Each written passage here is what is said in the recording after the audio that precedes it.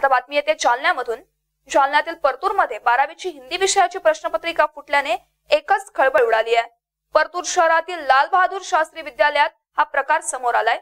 शाळेतील शिक्षकांनीच हा प्रकार केल्याचं समोर आल्यानंतर पोलिसांनी आठ जणांविरुद्ध गुन्हा दाखल केलाय.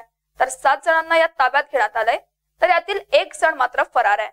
लाल बहादूर शास्त्री विद्यालयातील शिक्षक व्हॉट्सअप वरून प्रश्नपत्रिका झेरॉक्स सेंटर चालकाला पाठवून काही विद्यार्थ्यांमार्फत कॉप्या पुरवण्याचं काम करत असल्याचं समोर आलं. ही माहिती मिळताच परतूर पोलिसांनी घटनास्थळी जाऊन एका शिक्षकासह सात जणांना ताब्यात घेऊन त्यांच्या विरोधात गुन्हा दाखल केलाय. परतूर पोलीस या कटात सहभागी असलेल्या एका पर्यवेक्षकांचा शोध घेत असून तो पर्यवेक्षक फरार झालाय.